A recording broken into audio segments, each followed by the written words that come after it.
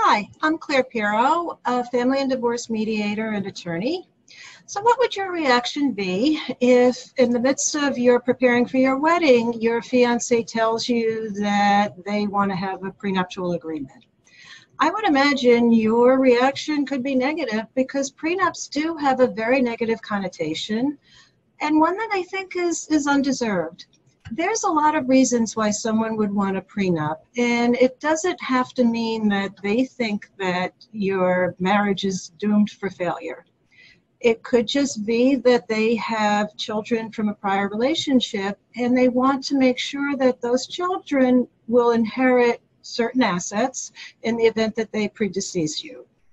It could be that they were divorced themselves and it was kind of nasty, or they know somebody who had a long, drawn out litigated battle and they're gun shy. They're, they don't think that you're going to get divorced, but it's a concern for them, and having that prenup makes them feel more confident and secure in the marriage. It could be that they have an asset that they want to preserve, like a house or a business, or they're likely to be inheriting money from family, and even their parents insist that they have a prenup before they get married.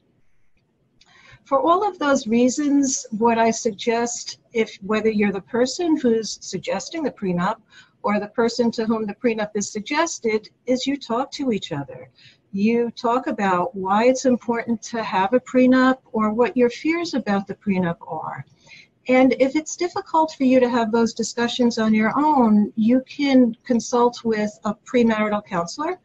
And in addition to talking about the prenup, you could address other concerns you might have about how you're going to act as a married couple and really help ensure that your marriage is going to be what the both of you want it to be.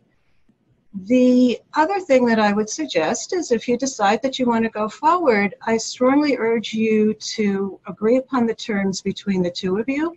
And it's best to do that with a mediator.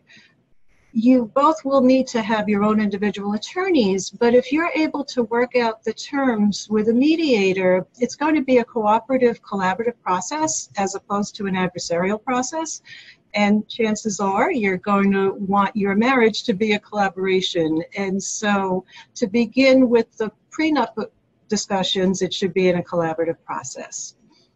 I have on my website, clarepiromediation.blog.com, more information, including a blog on other reasons why I think a mediated prenup is better than working through attorneys.